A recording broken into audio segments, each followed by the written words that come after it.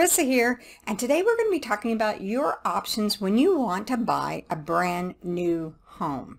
One that's never been lived in by anyone else. It's going to be have that new home smell.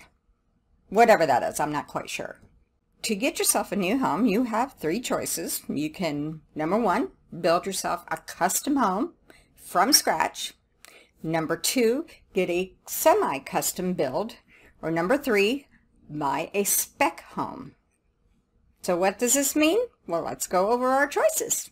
Deciding between the three options depends mostly upon your desire to control the process, what you actually need out of your home, and the amount of time and money that you have to give to the process. So let's go over our three different types of homes. Let's start off with the creme de la creme, the fully custom home.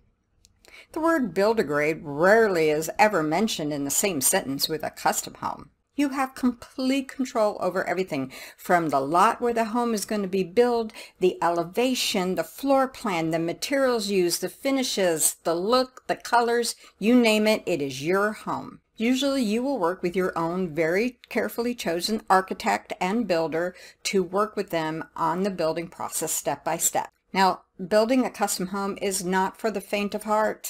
They can take a lot longer to build and can be easily derailed by material shortages, labor shortages. In addition, custom homes can go off budget very easily, adding thousands, if not tens of thousands, to the cost of your build unless you're very, very careful. And because custom homes generally cost more to build, the final home may not actually appraise at the full value of what it actually costs you to build the home. So now you're going to be on the hook for the difference.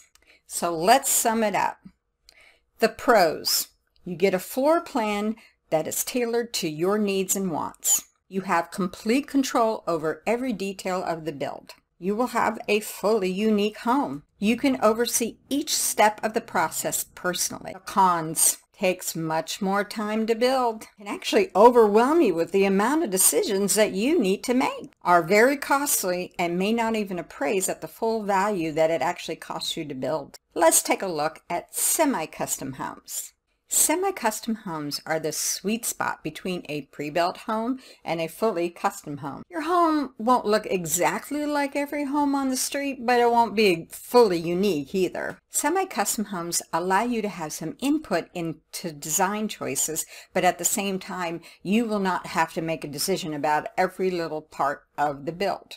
When you know that a fully custom home is just not in the cards for you right now, a semi-custom build may just be the option that you're looking for. Semi-custom homes, the builder will give you an option of several floor plans to choose from, and then you will continue to go on and pick out finishes, cabinets, colors, etc. So you can make the home all your own without putting in too much effort. Once again, let's sum up the pros and cons.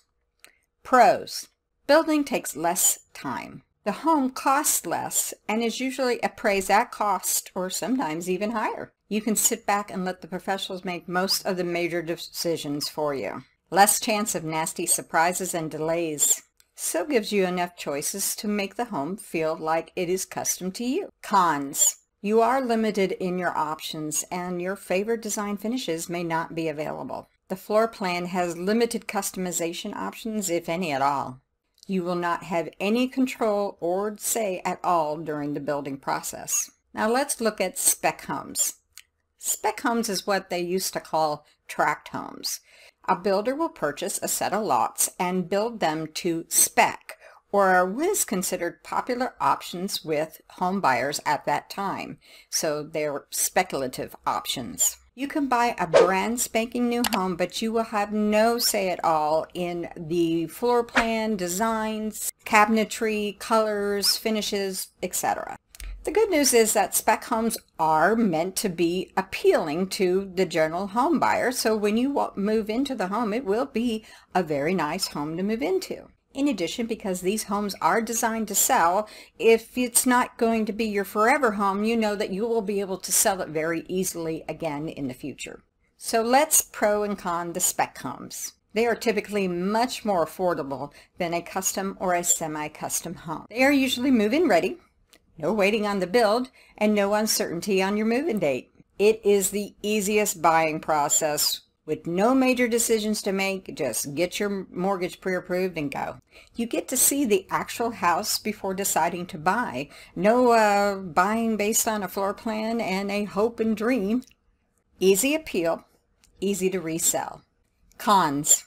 Any customization that you would like are going to be done at your own cost after closing. The finishes are going to be rather generic and non-offensive. Hello, cookie cutter.